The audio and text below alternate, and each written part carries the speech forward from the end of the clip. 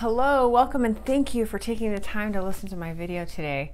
My name is Wendy Nelson, and I am a self awareness coach and a marriage mentor. I offer individuals and families a step by step process to help them heal their past, claim their power, so that they can, can express themselves from a place of love and authenticity. In this video, we are talking about the power of presence so you can claim your happiness every day but before we get started, I just want you to know that you are a powerful, gifted human being. I believe that we are all connected through our gifts. Your gifts are waiting to be discovered deep within your heart, and it is meant to be shared with the world. Our gifts give us purpose, they give us direction.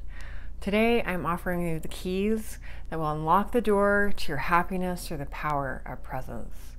When life gets us down, we often find, our, find ourselves feeling like we're in quick, quicksand.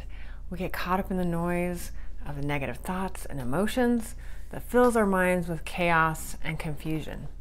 Many of us cope with these uncomfortable feelings by numbing ourselves or pushing them aside by filling our schedules to stay busy, overcompensating, proving to ourselves, proving to everyone.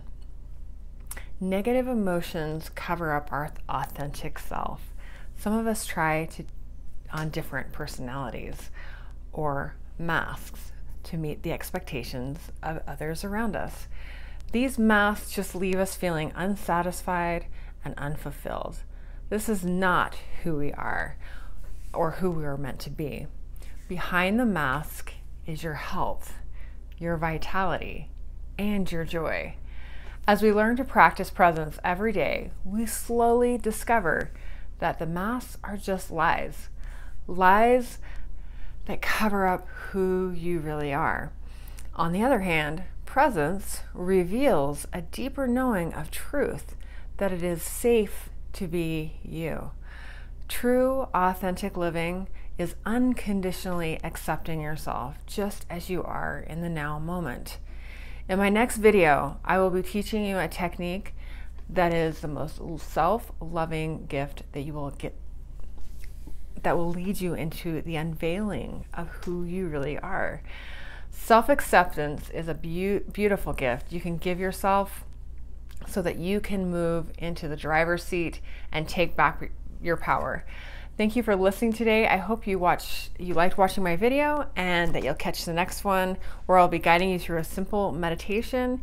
If you would like to connect with me, go to my website wendylnelson.com and fill out the form or schedule a complimentary call by clicking the button that says work with Wendy. Bye-bye for now. Take care.